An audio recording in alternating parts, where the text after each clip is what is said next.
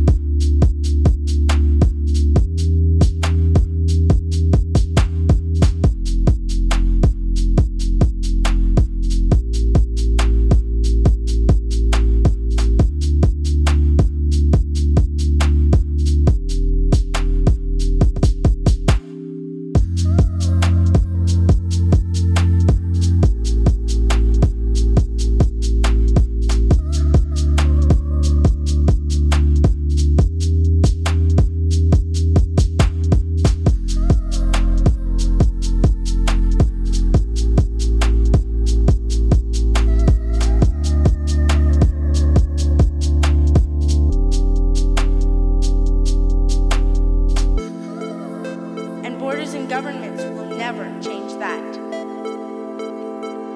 I'm only a child, yet I know we are all in this together and should act as one single world towards one single goal.